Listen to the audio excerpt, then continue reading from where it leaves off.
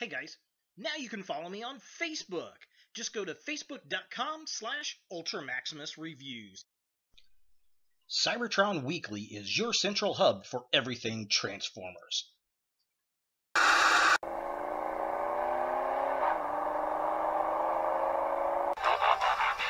Use a knockoff Bumblebee. I guess he was starstruck. You suck.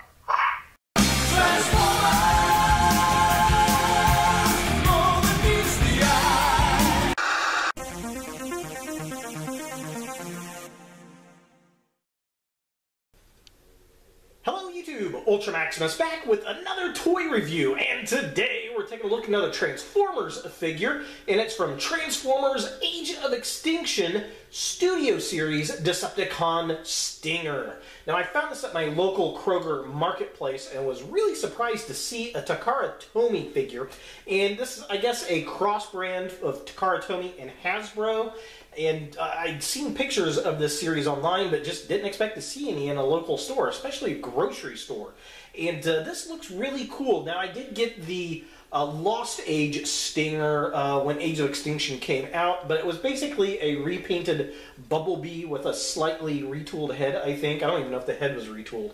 Uh, but this is a totally new design, it looks like. If I'm wrong, leave a comment down below, but I think this is a completely new design, and it's his vehicle mode that we actually saw in the movie. So I'm super excited about that. I think that looks really, really cool. Uh, definitely going to be interesting to compare this to the original Takara Stinger. Uh, so let's go ahead and take a look at the packaging. So here we have Stinger in package, and I gotta say, I really do like the box design on this. I think this is really nice looking. It for sure gives me the vibe of both a Takara packaging and a Hasbro packaging, uh, so that's pretty cool. We got Stinger back there. It says Takara Tomy right there. It's Generations Transformers. It says Hasbro right there. That is just very strange to me. It says Transformers Age of Extinction. There's some artwork of Stinger. He is number two in the Studio Series line. Um, it says Transformers Age of Extinction at the top there. Side of the package has a Stinger. Uh, he is a deluxe class Studio Series 02. And then this side's got a picture Stinger, but it's got an Autobot logo there. That's very strange. You would think it'd be a Decepticon logo. Uh, so just kind of a close up. There he is in package, looking all kinds of cool. Definitely dig that side of the package. There is the art Yep, pretty neat. This side, it's got an Autobot logo behind plastic. That's interesting. Um, and then there's Stinger again. Very, very cool. Back of the packaging, uh, it's got Stinger in robot mode, Stinger in vehicle mode, and um, yeah, there's a there's a it says big screen inspired scale detail. Uh, backdrop. Oh yeah, it comes with a backdrop on it, so that's kind of cool. This explodes out, so that's kind of neat. Um, vehicle mode, other figures, and it shows the display base right there.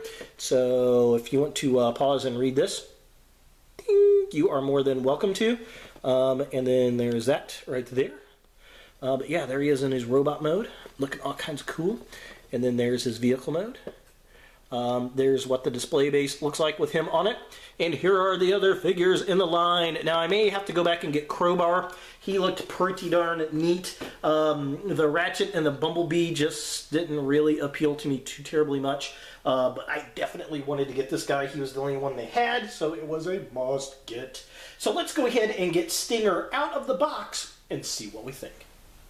So here we have Stinger out of the packaging, and uh, for the most part, I am really, really digging this figure. It's pretty stable as far as the stance and all the joints uh, go, which is very nice. He's got this big array of Chinese throwing stars on the back there. They're on these little ports, and I'm not really sure why they're there, to be honest. Um, this would have been a lot better if they just didn't even bother with that. Um, uh, you know, I like accessories, but that's just, it's cumbersome and weird. He, I don't remember him having that in the movie, and it just kind of gets in the way of transformation and posing. The other problem with the figure that I've got is the fact he's got this massive windshield piece right here, just kind of hanging on the arm. That is a huge problem to posing. Um, it would have been better if they would have just if you could just clip it off and maybe turn it into a gun, or if you could just put it on the back as part of the backpack or something um, because it's really just in the way. And those are probably my biggest gripes on the figure itself. Everything else is pretty decent. Um, I'm going to take these Chinese stars off here. They just pull off of the little uh, pieces back here, and then you can kind of close these down and do what you want with them. My birds are going nuts today, so you're going to hear them in the background, FYI. But yeah, he looks a lot better without them. So definitely cooler without the uh, little Chinese throwing stars on there. This is probably how he's going to be displayed up on my shelf.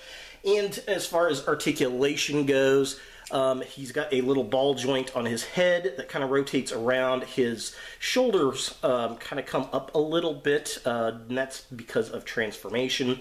He has uh, no real swivel at the waist, again, because of transformation. His arms are on a ball joint up here, and then these can kind of rotate around to give you a little bit more um, posability. And then he's got a ball joint at the elbow. The hands are kind of locked into place there. The legs will kick up about that far. They kick all the way back. Uh, ball joints are very nice. They go way, way far out. He's got a joint, single joint at the knee. The foot has a little bit of articulation again. That's mainly for transformation. And that's really about it as far as articulation goes on this guy. Taking a closer look at the figure itself, I do like the sculpt. I like all the detail they've got going on there. He's got the little green in his eyes. It's not quite exactly like it was in the movie, but it looks pretty good. The chest looks nice. I like how the front fenders kind of become his shoulders. Silver stripe looks nice. Um, we got a little bit of the backpack on the pieces that hold the throwing stars, which I just don't even know why they're there. It just kind of gets in the way more than anything else. But the overall design and detail is very good. I like the red, the black, the silver. It all looks very, very nice. Even the bird loves it. So um, he kind of looks like he could be Waspinator repainted, and I think that'd be a lot of fun. So looking at the midsection of the figure, again, I like the detail around the chest. The left arm is okay, the right arm is kind of goofy with the big windshield hanging underneath it.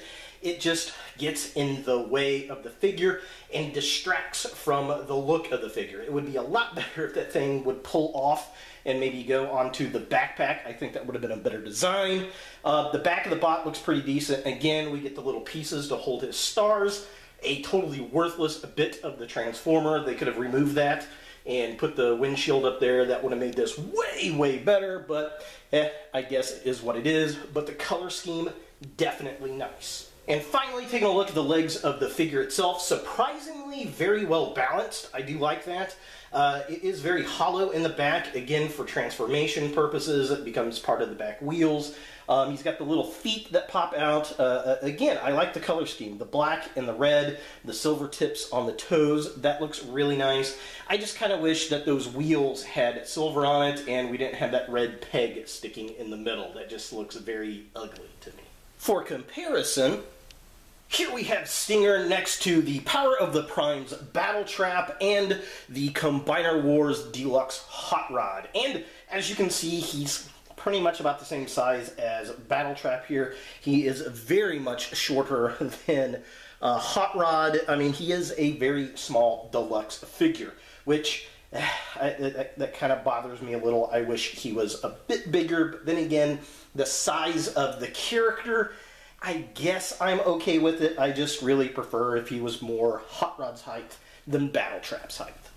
So here we have Stinger in his vehicle mode, and I gotta say, this thing does look cool, but it is very complex to transform. Thus, I did not even bother doing this on camera because it takes me forever to get everything into place. Now, he does store his little, um, I guess, Chinese throwing stars underneath, but uh, to be honest, I don't like the way that looks with them sticking out, and that's the way you're supposed to do it. It does look good, uh, though. If you look at the uh, paint job, I love the headlights. I like the purple Decepticon logo. The smoky uh, translucent plastic looks cool. Love that.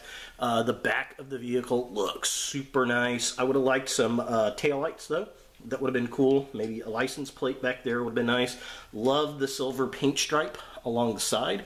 Um, I wish they would have painted the tires there. That would have been nice, or the the wheels, not the tires necessarily. And the red's kind of eh.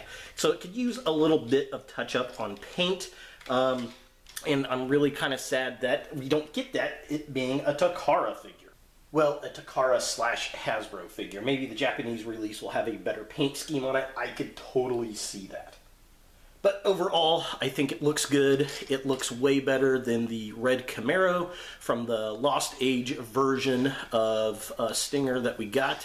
So yeah, I'm very pleased with this alt mode. Here we have a Stinger with the Turbo Changer Cyberfire Cogman from the Last Knight. And as you can see, they are about the same uh, size in vehicle mode. They're a little bit different in width. This car is a little bit wider than this one, but uh, yeah, Stinger definitely, I think, looks better, obviously, than the turbo changer, but uh, it kind of gives you a size comparison of how big this vehicle is. And Stinger does come with this display diorama, which is very interesting and kind of cool that they included that.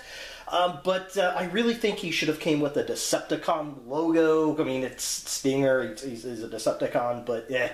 Um, again, a, a, great idea. I love the diorama here, but this would eat up a lot of space putting all of the characters in their dioramas. Um, so if you don't have a lot of them, I guess I could see. I definitely won't be using them, but I am going to keep it. I'll put it back in the box because I kind of like the box and the display here. Uh, but definitely an interesting uh, little additive uh, for the figure sets. So is the Takara Hasbro Movie Studios Stinger something that you want in your Transformers collection? Well, if you collect the Bayformers, this is probably something that you're going to want because this is the first stateside Stinger that we really got. I mean, we got a one-step changer, um, and we did get the Lost Age Takara version, but that was a repaint of the Camaro.